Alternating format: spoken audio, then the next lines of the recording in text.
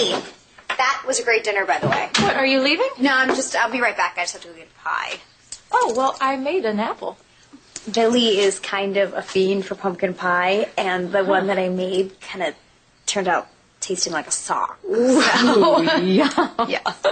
Well, you know, last year we had to throw out the whole turkey and get a pizza, so you've really you've really been good for him, you know, especially with everything going on in the news.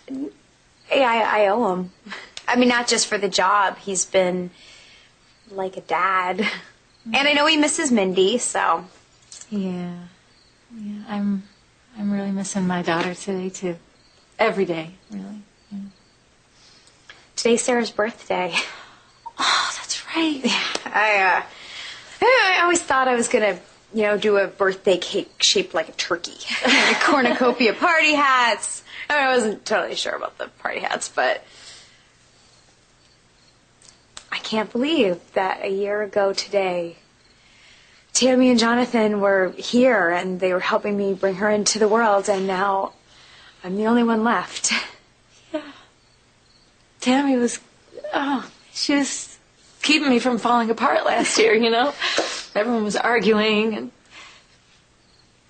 I, uh, I was really afraid of losing Jonathan, but I just assumed that I would always have Sarah. Well, I'm glad you're here this Thanksgiving. Think they're really up there looking down on us? I hope so. I mean, I like to think that they're up there together. I just wish they were down here together with us.